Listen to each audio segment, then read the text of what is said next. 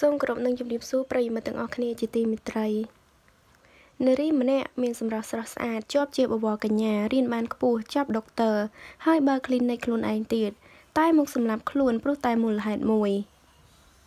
នៅថ្ងៃទី14កញ្ញាឆ្នាំ2018នេះយើងតាមប្រភពព័ត៌មានពីម្ចាស់ Facebook មានមានសពបានបង្ហោះដំណឹងដ៏គួរឲ្យសោកស្ដាយមួយ ដែលបានកើតឡើងនៅក្នុងប្រទេសថៃ ដោយសារនារីដ៏ឆ្នើមម្នាក់លោតពីអគារសម្រាប់ខ្លួននារីស្រស់ស្អាតរូបនេះជាប់ជាបវរកញ្ញានិងចាត់ទុកថាជានារីដែលមានគ្រប់យ៉ាងគឺជាសិទ្ធិបំណងចង់បើកមន្ទីរពេទ្យកែសម្ផស្សខំទៅរៀនរហូតដល់ចប់ដុកទ័រផ្នែកកែសម្ផស្សបើក clinic ដ៏ធំមួយជាប់រង្វាន់ CEO Leader Award ឆ្នាំ2018ពេលគោលបំណងក្លាយជា business woman ដ៏ជោគជ័យ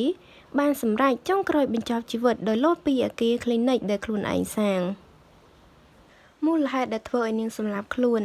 នៅមិនទាន់មានព័ត៌មានណាមួយដែលបញ្ជាក់បានឲ្យច្បាស់លាស់នោះទេប៉ុន្តែមហាជនជាច្រើនបានលើកឡើងថាមកពីបញ្ហាផ្លូវចិត្តទោះជាមានអ្វីៗគ្រប់យ៉ាងក៏ដោយប៉ុន្តែបើសិនជាមានបញ្ហាជំងឺផ្លូវចិត្តគឺវាពិតជាលំបាកខ្លាំងណាស់ ករណីមួយនេះធ្វើឲ្យប្រជាជនពេញប្រទេសថៃមានការភ្ញាក់ផ្អើលជាខ្លាំងនិងមានការសោកស្ដាយចំពោះនារីដ៏ស្រស់ស្អាតរូបនេះ។